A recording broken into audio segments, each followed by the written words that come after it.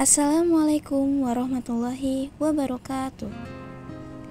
Pada kesempatan kali ini, kami dari kelompok 10 akan menjelaskan mengenai tawasul. Sebelumnya, perkenalkan inilah anggota-anggota kelompok kami. Nah, sekarang mari kita masuk ke dalam pembahasan. Contoh perbuatan yang tidak sesuai dengan tawasul. Ada banyak kejadian negatif yang mematikan atau menggunakan dada kita membeda-bedakan golongan ternyata sering kali terjadi atau dilakukan diskriminasi membeda-bedakan golongan biasanya dilakukan oleh golongan mayoritas terhadap golongan minoritas membeda-bedakan adalah perbedaan perlakuan terhadap sesama warga negara ketika seseorang diperlakukan secara tidak adil karena karakteristik suku, golongan, kelamin, ras, agama, dan kepercayaan, aliran politik, kondisi fisik, atau karakteristik lainnya. Hal ini disebut tidak diskriminasi atau membeda-bedakan golongan. Perbuatan kedua, tidak mau menerima pendapat orang lain, menghargai dan menghormati pendapat orang lain adalah sikap yang harus dilakukan dalam kehidupan sehari-hari. Sikap tidak mau mendengarkan pendapat orang lain disebut dengan sikap egois. Sifat egois adalah sikap di mana seseorang ingin sesuatu dari orang lain tetapi enggan melakukan hal yang sama dengan orang lain. Perbuatan ketiga, tidak berperilaku sopan santun. Sopan santun adalah peraturan hidup yang timbul dari hasil pergaulan. Sekelompok manusia di dalam masyarakat dan dianggap sebagai tuntutan pergaulan sehari-hari masyarakat. Sopan santun merupakan unsur penting dalam kehidupan bersosialisasi sehari-hari. Karena menunjukkan sikap santunlah seorang dapat dihargai dan disenangi dengan keberadaannya sebagai makhluk sosial di mana pun tempat ia berada dalam kehidupan bersosialisasi antar sesama manusia sudah tentu kita memiliki norma-norma atau etika dalam melakukan hubungan dengan orang lain. Dalam hal ini sopan santun dapat memberikan banyak manfaat atau pengaruh yang baik terhadap diri sendiri maupun orang lain. Menghormati orang tua bertingkah laku yang baik berbicara dengan lemah lembut berkata jujur tidak melakukan perbuatan yang dapat menyakiti perasaannya seperti suka berbohong dan tidak mendengar nasihatnya Akibat bila perbuatan yang tidak sesuai dilakukan atau dibiasakan. Perbuatan-perbuatan yang telah disebutkan tadi, jika dibiarkan atau dibiasakan akan berakibat fatal. Berikut beberapa akibat bila perbuatan-perbuatan tersebut dibiarkan atau dibiasakan. Akibat membeda-bedakan golongan, ini dapat menimbulkan perpecahan, kebencian, bahkan dehumanisasi pada orang lain karena memiliki identitas yang berbeda. Selain itu, membeda-bedakan golongan juga mempengaruhi mental, di antaranya muncul perasaan malu, putus asa, kurangnya pemahaman oleh teman, keluarga, atau orang lain. Yang kedua, tidak mau menerima pendapat orang lain. Jika kamu tidak mau mendengarkan pendapat orang lain, kamu tidak memiliki dukungan dari mereka. Jika sedang memutuskan sesuatu yang menyangkut urusan bersama, justru kamu menganggap pendapat mereka tidak penting. Kenyataannya, tanpa adanya dukungan dari mereka, kamu akan kesulitan untuk mengambil langkah. Misalnya saja seputar pekerjaan di kantormu. Kalau selalu saja menepis pendapat orang lain dan maunya hanya didengar, jangan harap kalau mereka bersedia untuk membantumu menyelesaikan tugas. Jika kamu tidak mau mendengarkan pendapat orang lain, kamu kesulitan menjadi pemimpin yang baik. Walaupun kamu saat ini berada pada posisi pimpinan, bukan artinya kamu sudah bebas dari ancaman yang datang kepadamu. Jika kamu selalu enggan mendengarkan pendapat orang lain, bisa saja sewaktu-waktu kamu digulingkan dari posisimu oleh mereka. Bagaimanapun juga, pemimpin tidak bisa bersikap semena-mena dengan timnya. Seorang pemimpin seharusnya dapat menjadi pendengar yang baik dan mampu mengambil keputusan yang bijak demi kebaikan bersama. Jika kamu tidak mau mendengarkan pendapat orang lain, akan lebih mudah untuk terjerumus dalam kesalahan. Akibat fatal lain yang akan dirasakan ketika enggan mendapatkan pendapat orang lain, yakni terjerumus dalam kesalahan, memiliki perbedaan pendapat dengan orang lain adalah hal yang wajar. Terlebih lagi, orang lain memberikan saran baik untukmu yang mesti kamu pertimbangkan. Jangan sekali-kali melihat siapa orang yang bicara. Padamu, bagaimanapun juga saran adalah hal yang berharga. Dengan adanya masukan, orang lain kamu jadi tahu di mana letak kesalahanmu yang sebelumnya tidak diketahui, sehingga membantumu untuk tidak terjerumus dalam kesalahan yang sama ke depannya. Yang ketiga, berperilaku tidak sopan. Salah satu cara untuk memperlakukan orang dengan baik adalah menjaga etika dan sopan santun, seperti berkata lembut kepada orang tua, tidak mengganggu tetangga, menganti dengan tertib, dan sebagainya. Meskipun terlihat sederhana, tapi bagi orang-orang tertentu menjaga sikap sopan santun adalah hal yang sulit dilakukan. Kalau kebiasaan itu sudah melekat, tentunya orang yang lain sulit untuk menghargai dan menerima kehadiranmu, sebab mereka akan lebih respek dan menghormati orang yang perilakunya baik, ramah, santun, dan seterusnya. Sebab dalam keseharian kita akan berhadapan dengan lingkungan yang berbeda-beda, seperti lingkungan rumah, sekolah, ataupun kantor. Beragamnya orang-orang yang kita temui tersebut, kita harus membawa diri dengan baik, yaitu menjaga sopan santun kepada orang lain, entah orang yang dikenal maupun tidak.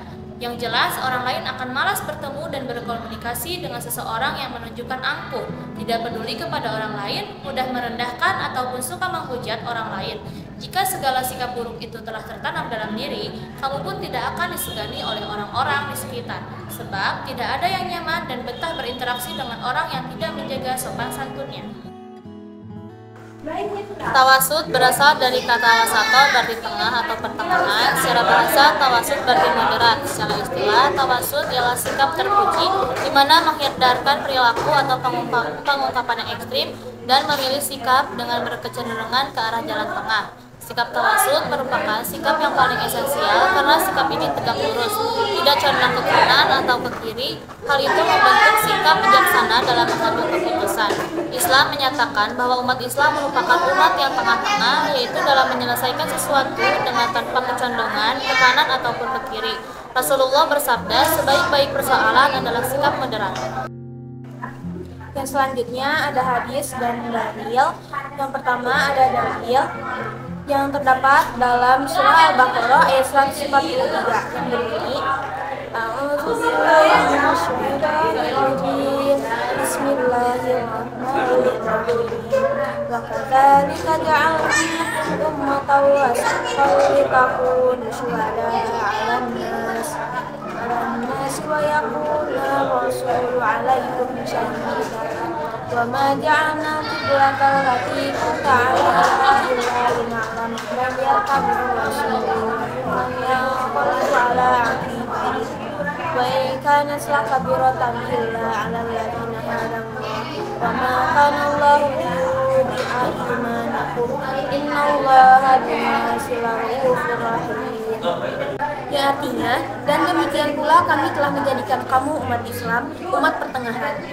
agar kamu menjadi saksi atas perbuatan manusia dan agar Rasul, Rasulullah SAW menjadi saksi atas perbuatan kamu. Kami tidak menjadikan kiblat yang dahulu kamu berkiblat kepadanya, melainkan agar kami mengetahui siapa yang mengikuti Rasul dan siapa yang berbalik Sungguh pemindahan kiblat itu sangat berat, kecuali bagi orang yang telah diberi petunjuk oleh Allah. Dan Allah tidak akan menyia-nyiakan imanmu.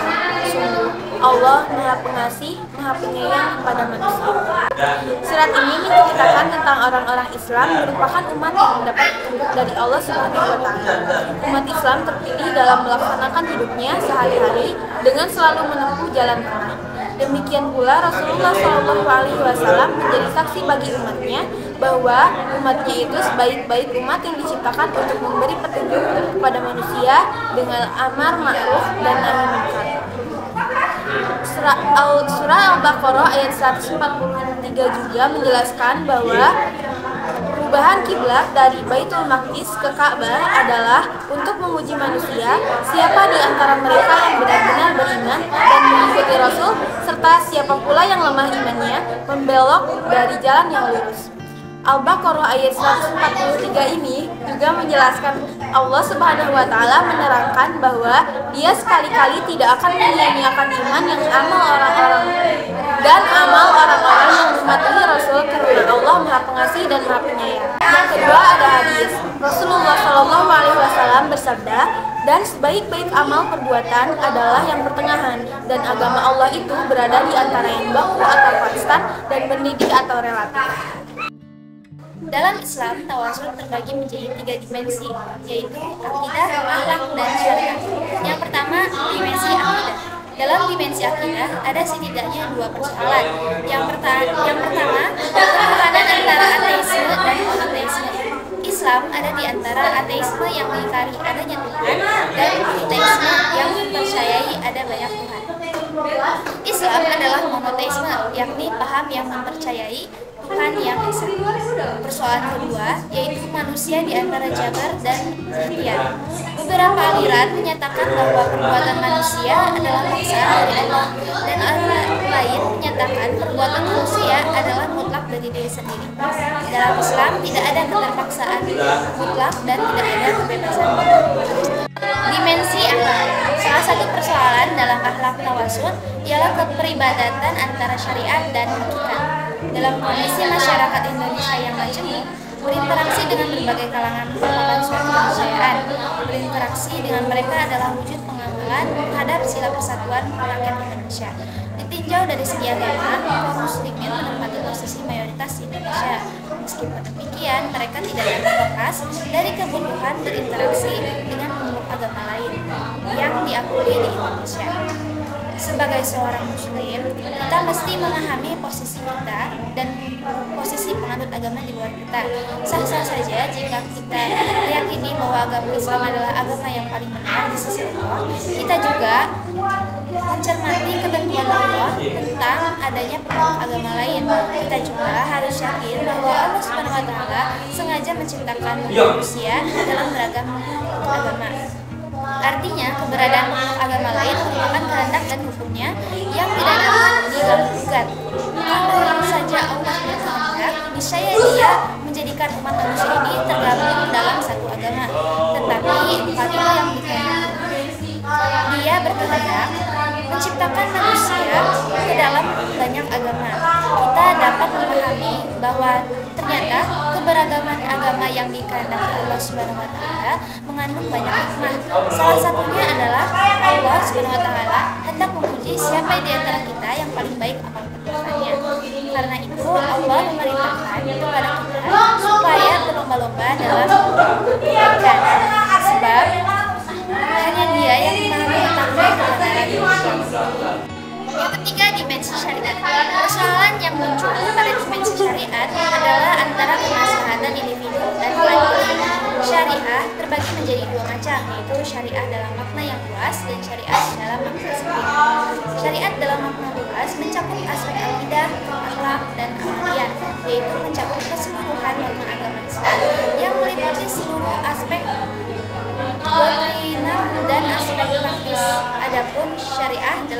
makna sempit merujuk kepada aspek psikis atau amaliyah dari ajaran Islam yang terdiri dari norma-norma yang mengatur tingkah laku konkret manusia seperti ibadah, nikah, jual beli, berperkara di pengadilan dan lain-lain.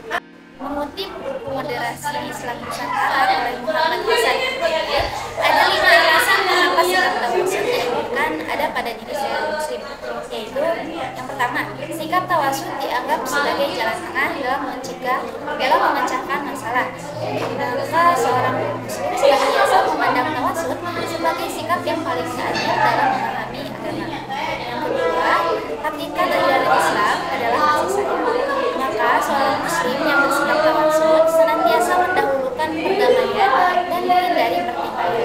Yang ketiga, pemeluk agama lain juga makhluk ciptaan Allah yang harus dihargai dan dihormati. Maka seorang muslim yang bersikap tawasul senantiasa memandang dan memperlakukan mereka secara adil dan setara. Yang keempat, ajaran mendorong demokrasi dijadikan alternatif dalam mewujudkan nilai-nilai kemanusiaan. Maka muslim yang bersikap tawasul senantiasa mengutamakan nilai-nilai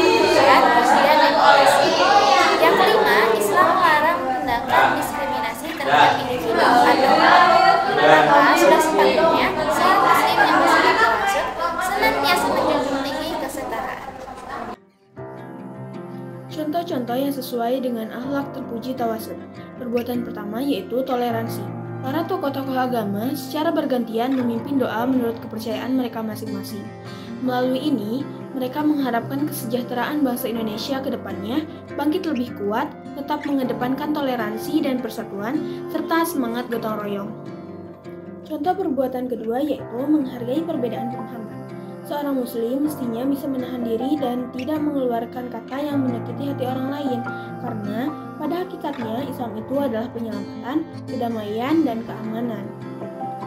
Orang lain selalu terganggu dengan kehadiran kita, tetapi hadapilah perbedaan pendapat dengan penuh kearifan. Ajaklah orang yang berbeda pendapat dengan kita dialog dan diskusi. Jangan sampai hanya karena beda pendapat kita menyesatkan dan mengarifkan orang lain. Lalu contoh perbuatan ketiga yaitu menghindari sikap ekstrim dalam beragama. Salah satu penyebab sikap ekstrim terhadap agama adalah sikap dulu, yang akan memunculkan sikap fanatisme beragama, intoleransi, serta akuisme. Di antaranya adalah sikap berlebih-lebihan dalam hal ibadah, bahkan memberat-beratkan diri. Bila kita berbuat akhlak terpuji tawasud dan melakukan perbuatan-perbuatan tadi, maka berikut manfaat yang akan kita peroleh. Pertama, kehidupan menjadi nyaman dan tentram. Salah satu manfaat dan tujuan dari adanya sikap tawasud melalui toleransi adalah mempermudah mewujudkan kesatuan terhadap perbedaan yang ada. Dengan begitu, kehidupan yang lebih baik, nyaman, tentram di tengah perbedaan bisa terwujud dengan mudah. Manfaat kedua yaitu memperluas persaudaraan Salah satu manfaat dan tujuan dari adanya sikap tawasud dengan cara saling menghargai yaitu menciptakan kehidupan keagamaan yang rukun, harmoni, damai, serta menekankan keseimbangan baik dalam kehidupan pribadi, keluarga, masyarakat, maupun kehidupan secara keseluruhan. Manfaat yang ketiga yaitu membentuk pribadi yang bijaksana. Bijaksana adalah keadaan di mana jiwa selalu tenang dan berpikir jernih sebelum berucap dan bertindak. Orang yang bijaksana dapat menentukan sikap secara mandiri dan tidak terlalu mudah terperangkap oleh pandangan dangkal orang lain. Orang yang bijaksana memiliki pandangan yang jauh terhadap sebuah masalah. Mereka biasanya selalu melihat masalah dalam konteks yang luas, tidak berpikir sempit. Kemudian, ketika membuat sebuah keputusan, mereka juga tidak hanya mementingkan diri sendiri, tapi memikirkan dampaknya bagi orang lain. Mereka tidak membatasi pikirannya kepada kepentingan jangka pendek, tapi juga kemaslahatan jangka panjang. Semua sikap atau ucapan yang mereka lahirkan akan dirasakan tepat dengan berbagai situasi dan kondisi lingkungannya. Cara berbuat akhlak terpuji tawasud dalam kehidupan sehari-hari. Yang pertama, metode uswah atau keteladanan. Penerapan metode teladan di antaranya adalah tidak menjelek-jelekan orang lain, menghormati orang lain, membantu orang-orang yang membutuhkan pertolongan, sopan santun dan sebagainya merupakan contoh konkret untuk para santri. Dalam pesantren, keteladanan sangat diperlukan. Para pengasuh dan ustaz-ustazah serta pengurus harus senantiasa memberikan keteladanan baik pada santri dalam ibadah, aktivitas dalam kehidupan sehari-hari, atau yang lainnya.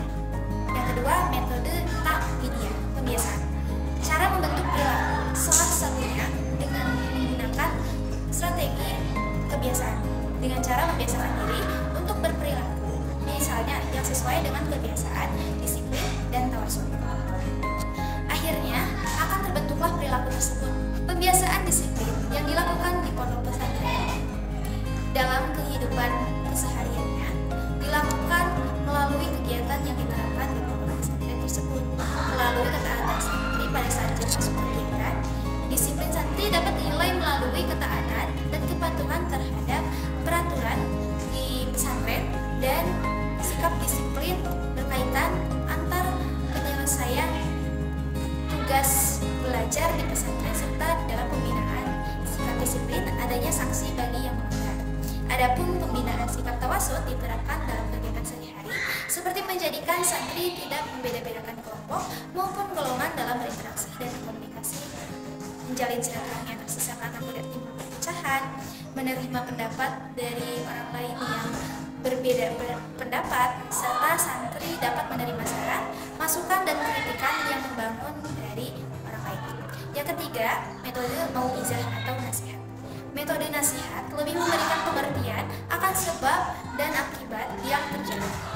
Sesuai dengan metode nasihat yang dilakukan di pondok pesantren, dalam pelaksanaan metode nasihat ini, seorang pengasuh pondok pesantren maupun seorang guru dapat memberikan nasihat yang baik, memotivasi, memberikan arahan untuk